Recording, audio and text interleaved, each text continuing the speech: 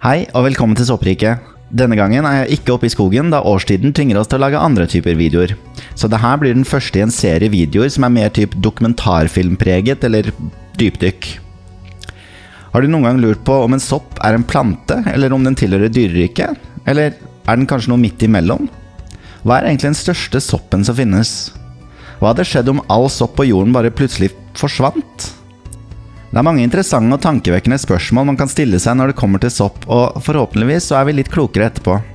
I dag blir det en såkalt isfjellvideo, eller et iceberg. Og hva er en isfjellvideo, lurer du muligens på? Vel, det er noe som har blitt ganske populært på YouTube de siste par årene, og det er egentlig bare en måte å sekvensere informasjon på, der vi har rimelig triviell informasjon på toppen av isfjellet, men etter hvert som man går dypere ned, blir faktaene og det vi skal gå gjennom, mer og mer obskurt. Vi blir til å snakke om sopparter som enten har et spesielt utseende eller interessante egenskaper. Vi blir til å snakke om sopp i folklore og kulturarven vår. Vi skal også innom sopp i populærkulturen, så her er det ganske mye vi skal gjennom. Soppriket har utrolig mye spennende å by på, og hver og en av emnene jeg går gjennom i dag, kunne vi laget en egen video om. Og det blir jeg også kanskje til å gjøre, men for nå så skal vi se på hele isfjellet, og vi starter på nivå 1.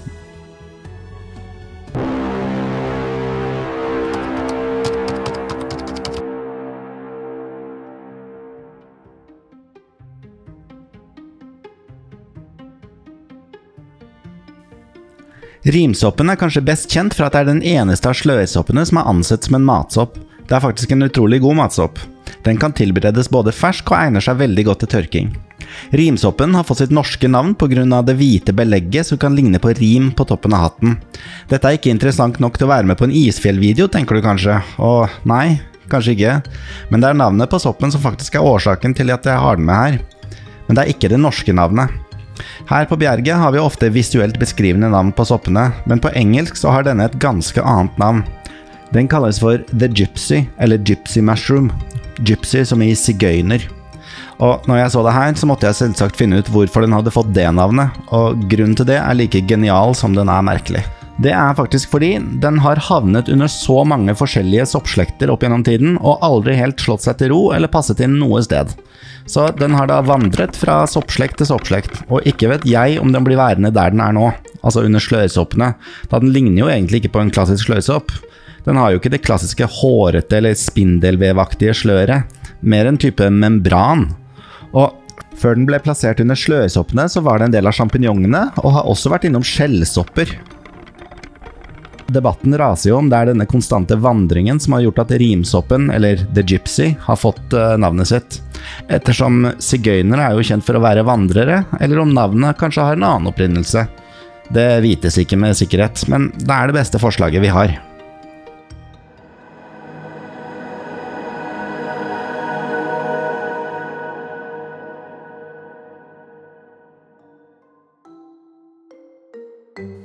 Med en liten smakebit så menes at man faktisk, når man er oppe i skogen for å sanke sopp, kan smake litt på enkelte sopper for å bedre kunne bestemme om en sopp er en god matsopp eller ikke.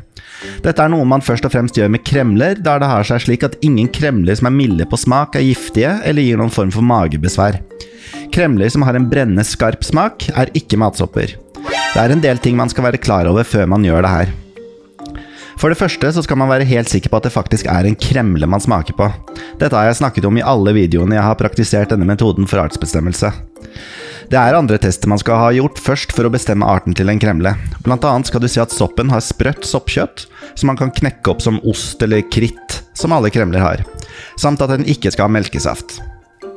Det andre er at etter man har tygd litt på soppkjøttet for å kjenne om det er en skarp eller mild kremle, så skal man spytte det ut igjen.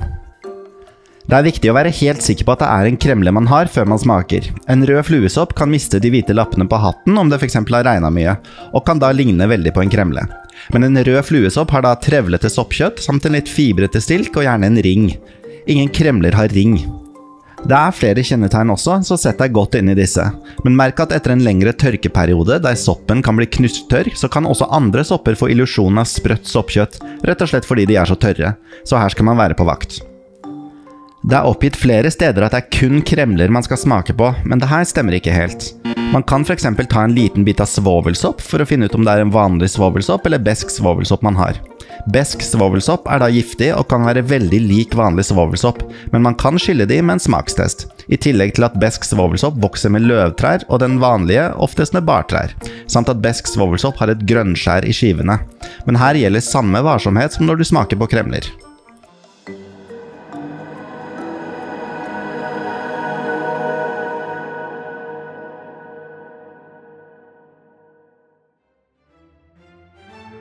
Dronningberget er en liten skogflekk som ligger på en liten kolle akkurat ved inngangen til Bygdøy i Oslo.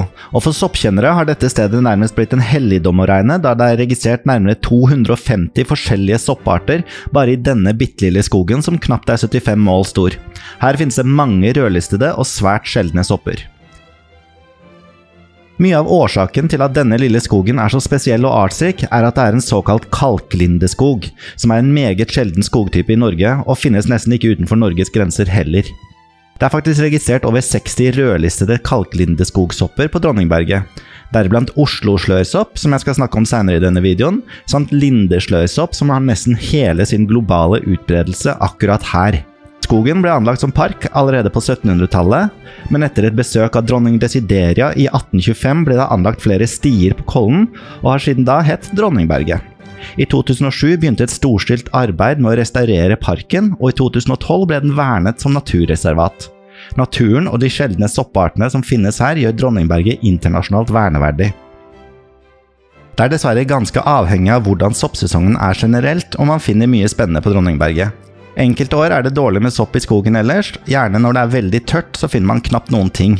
Mens andre år kan det bugne av sjeldne rødlistede arter her. Så om du nå ble fristet til å plukke sopp på Dronningberget, så er det nok best å la det meste stå, og bytt gjerne ut soppkurva med et fotoapparat om du ønsker å ta med deg noen fine minner hjem. Og går du der veldig ofte, så kan det godt hende at vi ses en gang.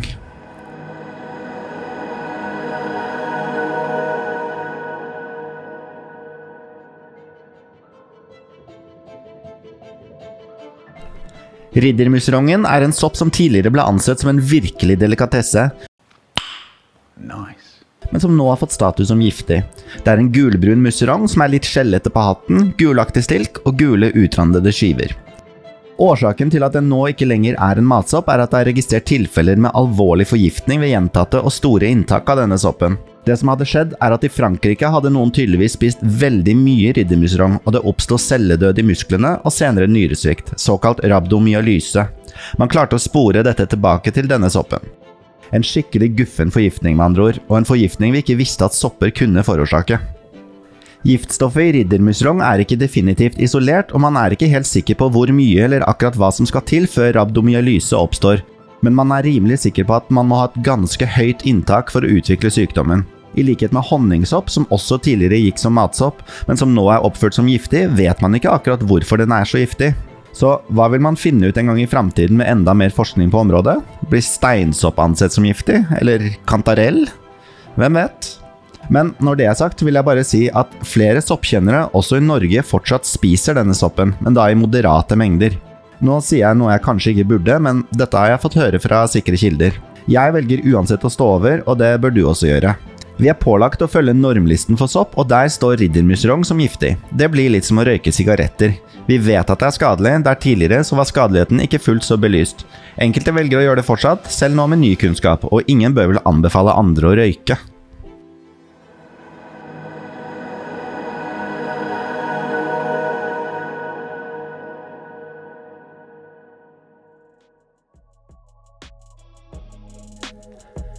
Sopp som kjøtterstatning er visstnok et ganske touchy emne, og sier jeg noe feil her, så blir det nok noen sure kommentarer. Men jeg ville egentlig i tillegg til å snakke om sopp som et vegansk alternativ til kjøtt, snakke om den påtvungne varianten. F.eks. under andre verdenskrig med datidens matmangler og rasjonering. Da var det populært å bruke f.eks. fåresopp som man kunne finne i store mengder når man først fant den. Men det er noen store problemer med å bruke sopp som kjøtterstatning i tider da mat er mangelvare. For det første er det jo ganske sesongavhengig, og det er jo som regel vinteren som kniper mest, og da vokser det jo lite sopp.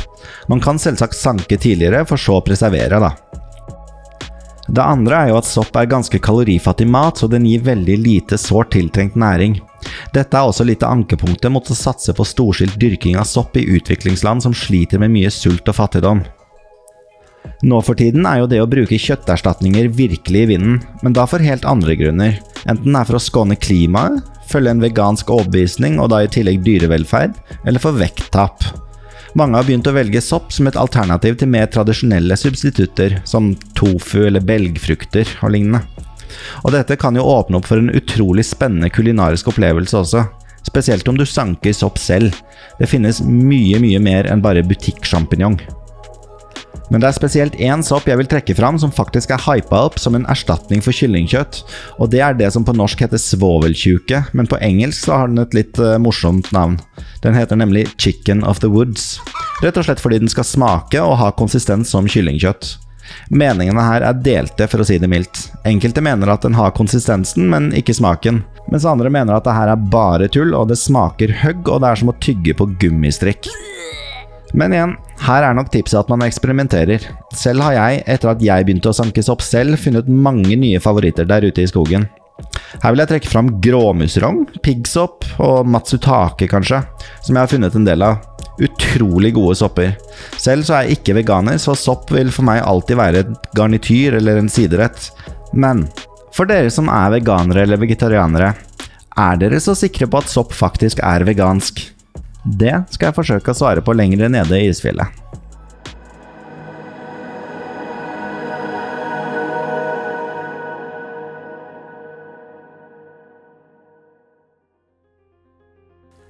En dag for nesten 100 år siden kom den skotske legen Alexander Flemming tilbake fra en ferie. Da han undersøkte noen bakteriekulturer han hadde hatt stående i flere uker, oppdaget han at det som var for han et ukjent stoff, hadde tatt livet av en stor andel bakterier. Det han også visste, var at i nabolaboratoriet holdt det til en annen forsker som muligens hadde kontaminert Alexander Flemmings bakteriekulturer med dette ukjente stoffet. Dette ukjente stoffet var da penicillin. Selv om det tok mange år før den første antibiotikaen ble utviklet, var nok dette eureka-øyeblikket som har gitt oss kanskje den viktigste medisinske oppdagelsen de siste 200 år.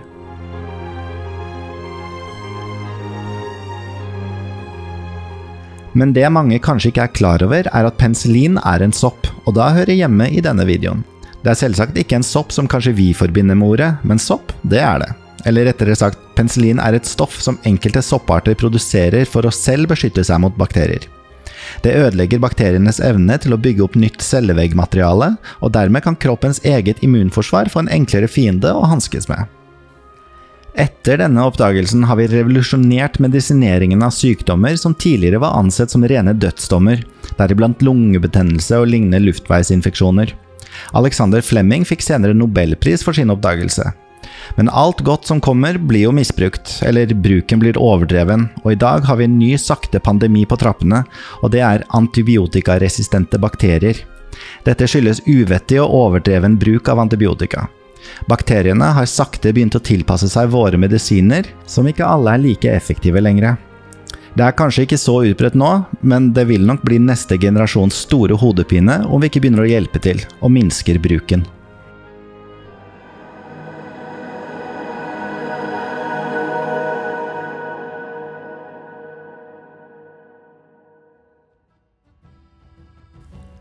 Jeg hørte et rykte en gang om at enkelte sopper, f.eks. kantarell, vokser ved maurtuer.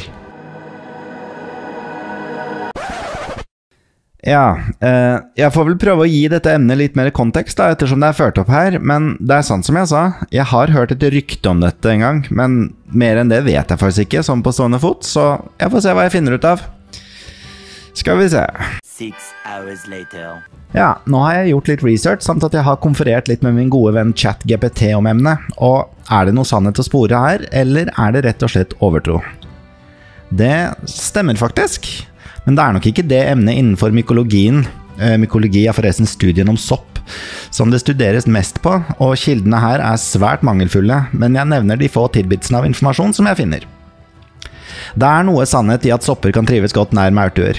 Noe av grunnen ligger i at maur transporterer store mengder døde insekter og organisk materiale tilbake til maurtuen, og i så måte gjør grunnen rundt mer næringsrik. Noe enkelte sopparter liker. Dette samt at rundt maurtuer er det litt lavere pH-verdi og dertil nitrogen i jorda, noe som også en del sopper ser ut til å like godt, deriblant kantarell. Så det vil da si at kjerringrådet jeg fikk av en gammel vandrer oppe i skogen da jeg var helt ny innenfor sanking, faktisk viste seg å stemme.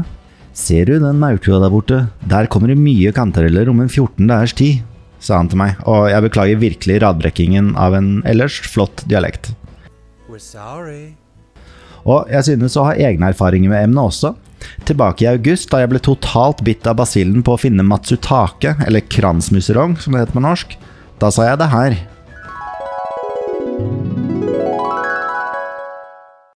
Og jeg har funnet ut en liten ting. Om det stemmer eller ikke, det vet jeg ikke. Men de fleste stedene jeg finner matsutake på, er ikke så langt ifra en maurtue. Om det Om det stemmer eller ikke, det vet jeg ikke. Jeg har ikke lest noe om det, i hvert fall. Jeg hadde jo ikke forventa å finne det her. Det er jo ikke noe registrerte funn eller noen ting. Men det er mye maur. Og det er det som regel Det er som regel alltid maurtuer der jeg finner de her. Kjempegøy. Så da er det vel noe i det, da. I tillegg til det her så har vi jo maurtueparasollsoppen, som nesten utelukkende vokser på maurtuer. Den har jeg også vært så heldig å finne i år, og fikk bevitne at soppens navn faktisk stemmer veldig godt. Men hvorfor vokser den på maurtuer? Dette er en sameksistens mellom maurene og soppen, der soppen får vokse i de næringsrike omgivelsene maurtuen gir, uten at maurene angriper selve soppen som får vokse i fred i sitt foretrukne habitat.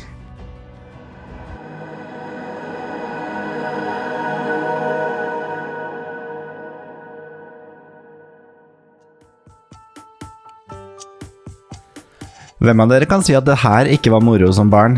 Eller kanskje dere er som meg og ikke klarer å gå forbi, selv nå i voksen alder, og bare må klemme litt på de røyksoppene? Den røyken man ser, er da soppens sporer som frigjøres, og det kan være flere millioner sporer som slippes av røyksoppen på denne måten.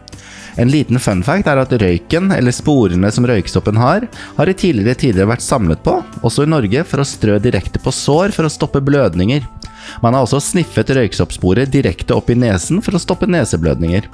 Også i tradisjonell kinesisk medisin er røyksopprøyk mye brukt, og kalles da for mabo. Det vil bli mange referanser til tradisjonell medisin i dette isfjellet når jeg snakker om diverse sopper og deres egenskaper. Alle røyksopper som er hvite hele veien gjennom, er spiselige. Vil si alle vorterøyksopper, pærerøyksopper og slike arter. De kan man spise før de begynner å modnes og bli misfarget inni. Enkelte røyksopper spises også rå enkelte steder i verden. Dette har jeg aldri testa selv, men smaker visstnok mildt og godt. Men det som er ganske spesielt med røyksopper, som skiller de fra andre sopper, er jo at her har evolusjonen virkelig perfeksjonert det å spre sporene. Røyksopper forteller noe om oppfinnsomheten innen evolusjonen og naturens tilpasningsevne og mangfold. Når vi eller barn tråkker på røyksopper, ødelegger man ingenting. Man hjelper faktisk bare soppen ved å ødelegge den, ettersom alle arters mål er jo å formere seg, enten det er dyr, planter eller sopp.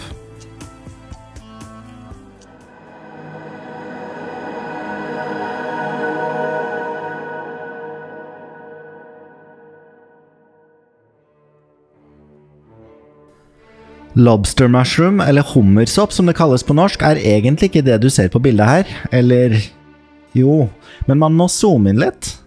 Sånn, ja. Ja, det her krever litt forklaring, skjønner jeg. Denne hummersoppen er egentlig bare en helt vanlig kremle eller riske som er angrepet av en annen parasittisk liten sopp med det latinske navnet Hypomyces lactiflorum. Dette er det som skaper det vi kaller hummersopp, og som gjør denne soppen så spesiell. Denne parasitten transformerer en rimelig anonym sopp til å bli en skikkelig kulinarisk delikatesse. I tillegg da til å endre soppens utseende til å få en dyp rødoransje farge, og også herder soppens overflate, og til slutt vil soppens form også begynne å endres kraftig. Dette skjer med at vertsoppens DNA blir gradvis erstattet med inntrengerens. Til slutt så er det uhyre vanskelig å se hvilken sopp dette var i utgangspunktet. Ganske sinnssykt. Denne soppen er restauranter villige til å betale nesten 1000 dollar kiloen for, og det er ikke uten grunn. Dette er sagt å være en smaksopplevelse av de sjeldne, og kan brukes i veldig mange forskjellige retter. Den har en søtlig, nøtteaktig smak som kan minne, ironisk nok, om sjømat, og da hummer. Men om du ønsker å plukke denne, så er nok ikke det like enkelt for alle. Den vokser stort sett kun i Nord-Amerika, selv om den er registrert enkelte steder i Europa og Russland også, men aldri i Norge. Dessuten så har ikke vitenskapen helt utelukket at parasitten kan feste seg på det som er i utgangspunktet giftige sopper, som dertil vil gjøre hummersoppen giftig når den blir spist. Så obs, obs.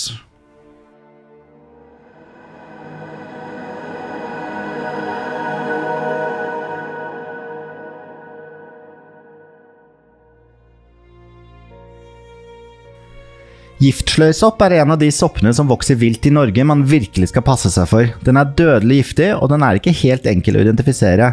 Men det er kanskje den aller viktigste soppen å lære seg for nye sankere. Jeg har tidligere forklart hvordan man kjenner igjen denne, samt diverse do's and don'ts. Vi har to arter giftsløysopp, spissgiftsløysopp og buttgiftsløysopp. Den spisse varianten er den vanligste. Den butte er sjelden og vokser stort sett bare i løvskog, da helst med eiketrær enkelte steder fra Sørlandet og opp til Oslofjorden. Disse to soppene inneholder giften orelanin, som gir alvorlig nyreskade. Det jeg hadde lyst til å nevne her, og grunnen til at jeg førte opp disse på isfjellet, er det faktum at disse soppenes giftighet er en relativt ny oppdagelse. Tro det eller ei. I 1952 i Polen hendte det noe merkelig. Over 100 personer ble plutselig syke, og alle mistenkte at dette var resultatet av en smittsom sykdom, men den gang ei. Det ble konstatert at alle de syke hadde spist sopp, og til slutt, etter litt etterforskning, fant man ut at det var butt giftsløysopp de hadde spist. Denne soppen sto forresten oppført i de lokale soppbøkene som spiselig. Over 20 år senere fikk vi endelig bevist at den spisse giftsløysoppen også var giftig, da en familie i Finland hadde blitt alvorlig syke. Tilbake i Norge har vi i alle tider før dette feilbestemt giftsløysoppene til å være andre arter, og de er ikke ført opp i soppbøkene engang. Vi ante faktisk ikke at dette var en egen sopp. Norges første offer etter at vi begynte å lære om giftsløysoppene, det var da fire sauer på Sørlandet som hadde spist soppen. Noen år senere plukket en mann fra Mandal sopp og tok med seg en del giftsløysopper som han antok var spiselige, da den ikke sto oppført blant de giftige i soppboka han brukte. Mannen ble innlagt på sykehus med nyresvikt, men overlevde etter intens dialysebehandling og en nyretransplantasjon. De fleste arters spiselighet er jo kunnskap som har gått i arv i uminnelige generasjoner, og det kan godt hende at det har eksistert lokalt sunt bondevett som tilsier at man ikke skulle spise giftsløysopp. No! God, please, no! No! Men ingenting ble nedskrevet for offentligheten.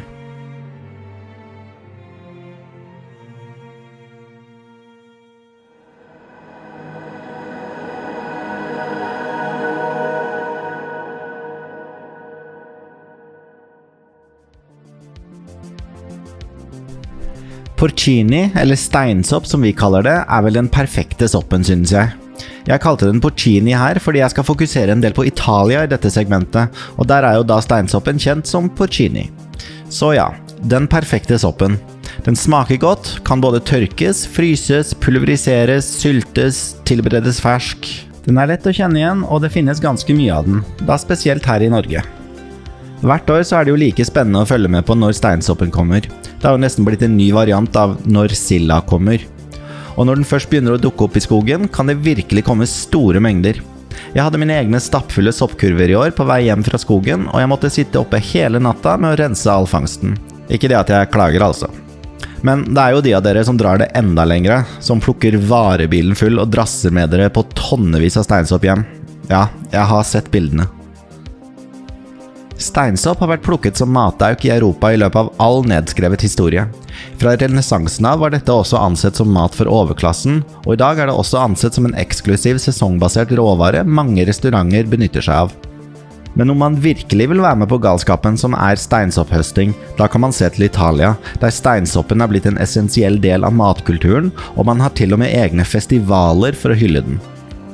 Når det begynner å dukke opp steinsåpe i Italia, går man mann av huset for å sikre seg den. Men noe av problemet er jo at ingen vet helt når eller om den dukker opp.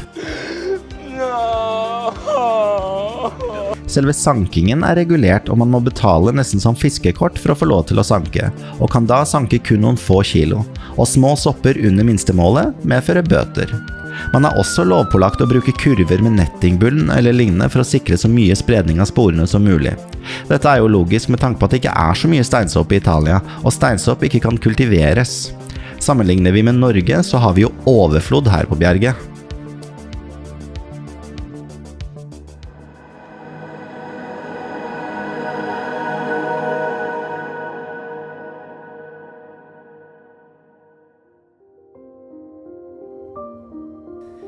Irrgrønn kragesopp er en utrolig vakker sopp jeg har hatt gleden av å finne i år. Det har kun et ganske ungt eksemplar som kan sees her, og jeg lot den bare stå. Plukket den ikke opp engang da jeg ville la den få leve. Fikk vel kanskje litt sympati for den. Det er vel i hovedsak utseendet som gjør at jeg har den med i denne videoen, samt at det er vel en av de flotteste soppene jeg vet om, rent utseendemessig, da. Denne blåturkise fargen er ganske sjelden i naturen generelt, og grunnen til at denne fargen er så sjelden, er nok fordi de fleste dyr og planter mangler kjemiske forbindelser til å produsere blå pigmenter, og for de som faktisk produserer denne fargen som påfuglfjær eller fargen på en blåklokke, kreves det litt mer komplekse strukturer. En annen årsak til dette er nok fordi sett fra et evolusjonært perspektiv gir ikke den blå fargen så altfor mange fordeler med tanke på kamuflasje og slike ting. Irrgrønn kragesopp er en sopp jeg ikke finner altfor ofte. Den vokser ofte i blandingsskog og kommer sent på høsten da det er mye dødt løv som dekker bakken, og da også gjerne dekker hele denne soppen og gjør den veldig vanskelig å få øye på. Vi har også en annen art som kan gjøre det litt tricky å artsbestemme irrgrønn kragesopp helt korrekt, og det er blågrønn kragesopp. Men den mangler gjerne en tydelig ring, har ikke hvite kanter på skivene og vokser mer på kompost og er ikke så tydelig turkis som den irrgrønne. Men de er begge kjempefine sopper, så det er egentlig litt urelevant hva man finner her. Den irrgrønne kragesoppen er ingen matsopp og inneholder også små mengder psilocybin, som er det psykedeliske stoffet man finner mye av i f.eks. fleinsopp. Dette er en sopp man jakter på med tanke på å ta bilde av den, og ikke for å spise, om man skulle være så heldig å finne denne litt småsjeldne, vakre soppen sent på høsten.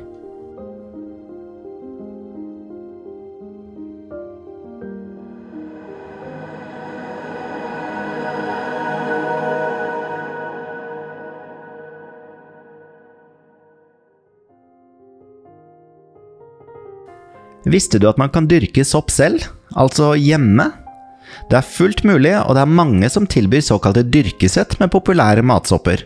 Østersopp er blant annet veldig populært å dyrke selv, og jeg er så vidt i gang med mitt eget sett med østersopp. Resultatet og hele prosessen kommer i en senere video. Dette er et sinnssykt kult tillegg til kjøkkenhagen alle soppentusiaster burde prøve. Det enkleste er å kjøpe en ferdig dyrkepose man bare sprayer med vann en gang om dagen, og vips, så har man dyrket fram sin egen sopp etter ca. en måneds tid. Slike dyrkesett er som oftest en alt-i-ett-løsning man kjøper ferdig, og det er veldig lite man trenger å tenke på selv. Man må selvsagt sørge for riktig temperatur, fuktighet og luftgjennomstrømming. Det er ikke bare østersopp man kan kultivere heller. Man kan i tillegg til den dyrke shiitake, piggsvinsopp, enoki og mye annet spennende. Mange entusiaster har tatt dette et steg videre også, og velger å forsøke å kultivere andre sopper under andre forhold. Man kan f.eks. dyrke sopper på en trestamme, men dette krever litt mer arbeid. Da er det viktig at stokken er av riktig størrelse og tresort for å kunne dyrke det man måtte ønske, samt at stokken må klargjøres først, med å vaskes og kuttes eller bores små hull i. Det er jo også de som dyrker sopp i kaffegrut og alskens korn og diverse. Her er det utrolig mange muligheter. Selv så hadde jeg et lite prosjekt som kanskje ikke akkurat er kultivering slik vi nå har snakket om, men mer å spre en sopp til nye områder, kanskje. Men jo mer jeg tenker på det, så er det egentlig samme sak. Jeg tok med meg blå ridderhatt fra et funnsted og la en del sopper ved min egen komposthaug i hagen. Blå ridderhatt er jo en saprofytt, og den vokser jo da på dødt plantemateriale. Og tror du sannelig ikke at i år så vokste det blå ridderhatt der. Det var helt fantastisk.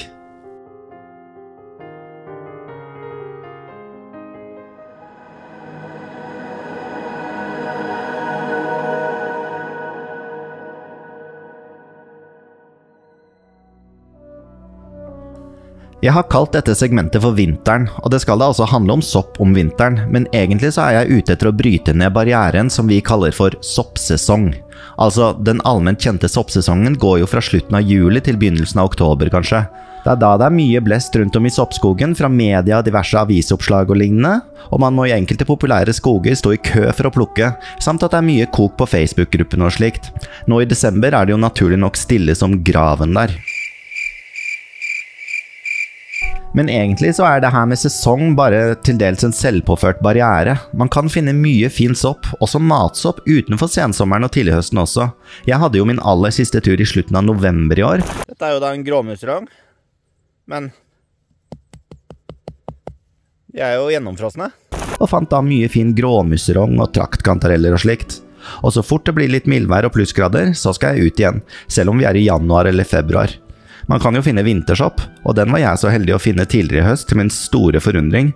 Men denne ypperlige matsoppen vokser jo hele året, også på vinteren, da den inneholder en slags frostvæske som gjør at den tåler minusgrader, og vil da fortsette å vokse så fort det blir litt mildere i været igjen.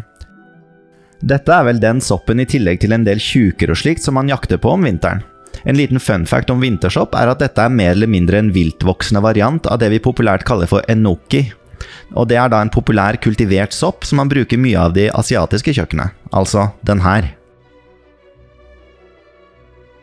Vintersoppen liker seg godt langs elvebredder og vann, og vokser da på roten og stammen av råtnende løvtrær, da spesielt seljetrær. Det er heller ikke uhørt at man kan finne traktkantareller lenge etter at frosten og vinteren har ankommet. Jeg har flere ganger gått tur på mine beste traktkantarellsteder i 10 cm med snø, sparket vekk snøen for så å finne fullt spiselige traktkantareller under. Traktkantarellen den heter jo tross alt winter chanterelle på engelsk. Nå skjønner jo også jeg at vinter, det er litt relativt. Her sørpå, der jeg bor, så kan vi ha ganske snøfattige og milde vintre, mens lenger nord kan det være to meter snø, og da skjønner til og med jeg at det kan bli vanskelig å finne noe av verdi.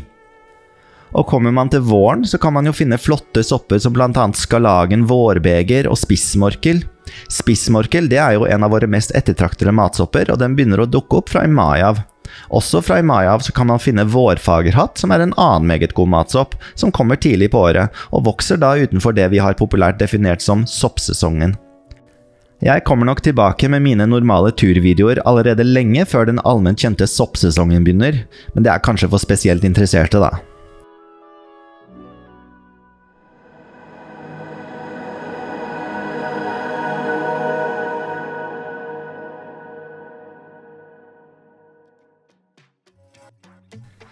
Litt i samme gate som med penicillin, så er det ikke så mange som tenker på at gjær faktisk tilhører soppriket. Men det er faktisk en sopp, og kan vel nesten sies å være hele kraftstasjonen for hele menneskeheten. Vi bruker jo gjær i nesten all brødbakst, og kanskje enda viktigere for noen, brygging, selvsagt. Alt takket være denne encellede soppen, Saccharomyces cerevisiae. Jernens historie er tett knyttet til landbrukets og sivilisasjons begynnelse. Det var antakeligvis gamle egyptere som først brukte gjær bevisst for å bake brød, for omtrent 5000 år siden.